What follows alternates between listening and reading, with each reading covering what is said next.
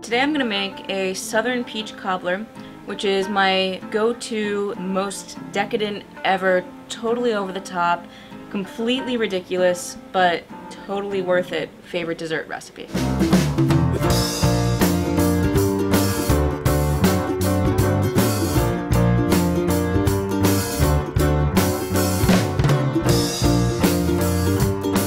This week on Working Class Foodies, I start off with my own variation on a classic southern drop dough recipe. First, preheat the oven to 375.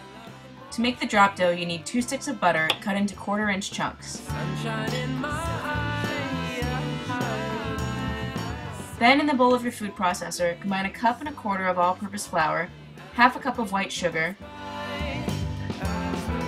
I substitute about a quarter cup of cornmeal for the flour in my drop dough. The cornmeal in the drop dough really complements the peaches because it adds a nice nutty texture and flavor to the dough. Two teaspoons of baking powder and a half teaspoon of sea salt. Pulse this together to combine, and then pulsing slowly, adding your two sticks of cold butter. The mixture should resemble fine, small crumbs. Then pour in 3 quarters of a cup of milk I use 2%, but you could also use skim, soy, or whole. Mix this together until it just becomes slightly creamy. Don't overwork, the dough should be soft and sticky, but manageable. Lightly butter your Dutch oven and drop your dough in with a spoon. It doesn't matter if it doesn't reach all the sides, it'll melt into itself while it bakes in the oven. Bake your bottom drop dough crust about 15 to 20 minutes. While your drop dough bottom crust is baking, prepare your fruit filling. First, I washed about 6 peaches. Using your paring knife, gently cut slices out of the peaches. You can peel the peaches if you like, but I prefer to leave them rustic with the skins on. Peaches are in season right now, so this is the best time to make this dessert. It's not necessary, but I added in about a pint of blueberries to help cut the butteriness of the overall dish. Add in your blueberries. And then add in about a tablespoon or two of sugar just to start getting the juices going.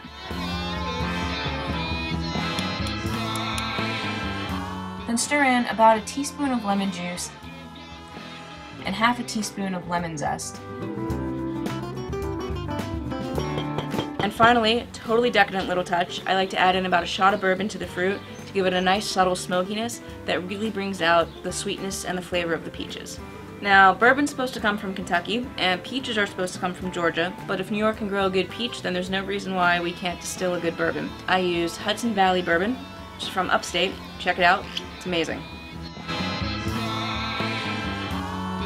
And a teaspoon of vanilla. Stir this all together. And then if you have any juices accumulating at the bottom, stir in about a tablespoonful of flour just to soak up all those juices. The fruit will create more juices as it cooks, so you don't want it to go into the oven too juicy. We're going to take a quick break. When we come back, it's time to make our crumb top crust and bake our delicious southern skillet peach cobbler.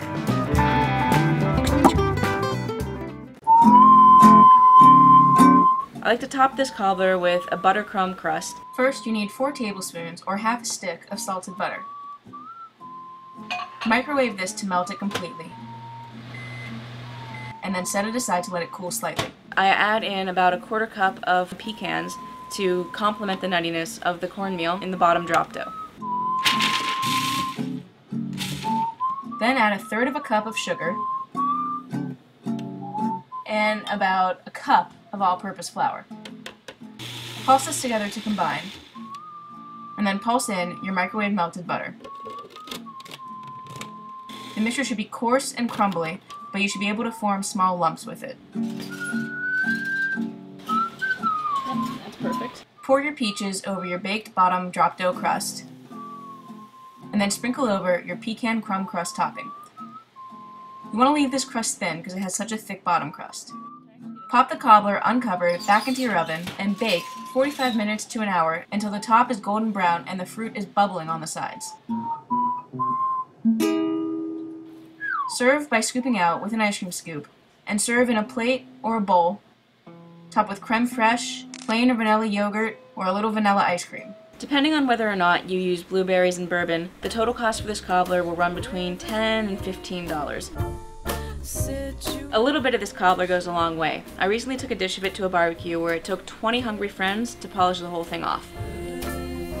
So now it's your turn. Let me know what your favorite peach recipe is. And if you have a best decadent dish, let me know. I'd love to hear it. We'll see you next week on Working Class Foodies.